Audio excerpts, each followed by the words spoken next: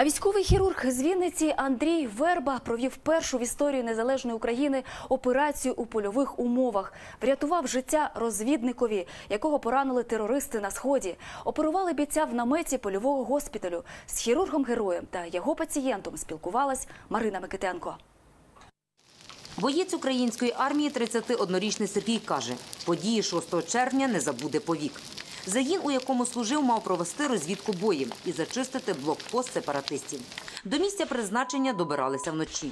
А коли за 4 години дістались цілі, зрозуміли – бойовики на них вже чекають. До блокпоста оставалось так с леса метра, наверное, 150. Его уже он просматривался где-то полчетвертого утра было. И начинались маленькие сосны, не- ну, невысокие, и их ветки аж до земли. И вот там в этих соснах была засада, нас уже там ждали. И вот я первый получил пулю, пуля попала в магазин, магазин разорвался. Там Мы отстрелялись, потом мои ребята меня оттащили. Сергія влучило дві кулі. Одна ворожа, а друга з його ж магазину, що розірвався. А все тому, що на загін семи солдатів мали лише п'ять бронежилетів. Тяжкий был без броника. На всех не хватило. Был бы броник, просто бы максимум сломало ну, два ребра, это максимум. А может просто был бы синяк. А так не подфартило. В результаті важке поранення живота. Два кілометри чоловік ще пройшов з автоматними кулями в тілі. І лише у безпечному місці групу забрав КАМАЗ. Потім вертоліт і польовий шпиталь. Чуйка какая-то была. Реально, що буду жить.